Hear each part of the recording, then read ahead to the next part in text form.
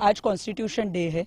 Constitution ने दिया हुआ जो राइट टू प्रे का अधिकार है जो इक्वालिटी का अधिकार है वो हमें कई हमसे कहीं ना कहीं छीना जा रहा है। सुप्रीम कोर्ट का आदेश होकर भी आ, कोई भी स्टे नहीं है महिलाओं के प्रवेश के ऊपर।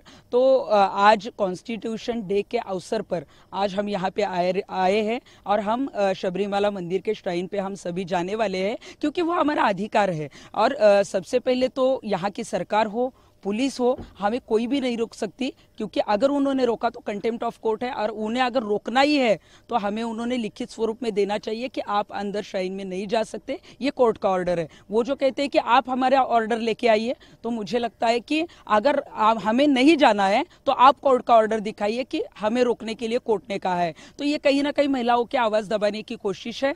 हम आज सभी जो है वो मतलब सिर्फ़ महाराष्ट्र ही नहीं अलग अलग स्टेट से आए हैं, और शबरीमाला मंदिर में प्रवेश करने के सिवा हम रिटर्न नहीं जाएँगे। प्रोटेक्शन की मांग मैंने जो है वो सीएम पीएम या आ, जो अमित शाह जी है यहाँ के डीजीपी हैं उनको मैंने कल लेटर भेजा था। प्रोटेक्शन की मांग की है लेकिन प्रोटेक्शन दिया या नहीं दिया तब भी हम मंदिर में जाने वाले हैं।